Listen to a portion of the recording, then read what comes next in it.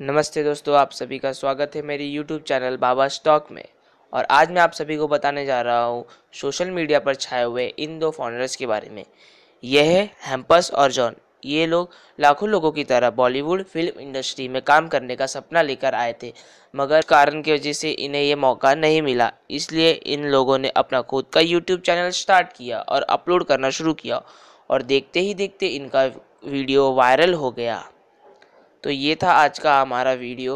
Hope you guys enjoy this video और अगर अगर आपने अभी तक सब्सक्राइब नहीं किया मेरा यूट्यूब चैनल तो जाइए सब्सक्राइब कीजिए और बेल आइकन दबाना मत